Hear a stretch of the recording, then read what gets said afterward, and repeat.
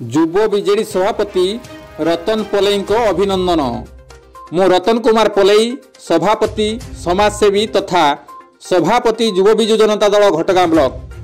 ପବିତ୍ର ମକର ସଂକ୍ରାନ୍ତି ଉପଲକ୍ଷେ ଘଟଗାଁ ବ୍ଲକର ସମସ୍ତ ଜନସାଧାରଣ ଓ ବଡ଼ଜାମପୋଷି ପଞ୍ଚାୟତବାସୀଙ୍କୁ ଅଭିନନ୍ଦନ ଜଣାଇବା ସହ ମା ତାରିଣୀଙ୍କ ଠାରେ ପ୍ରାର୍ଥନା କରୁଛି କି ଆପଣମାନଙ୍କ ଜୀବନ ସୁଖମୟ ହେଉ।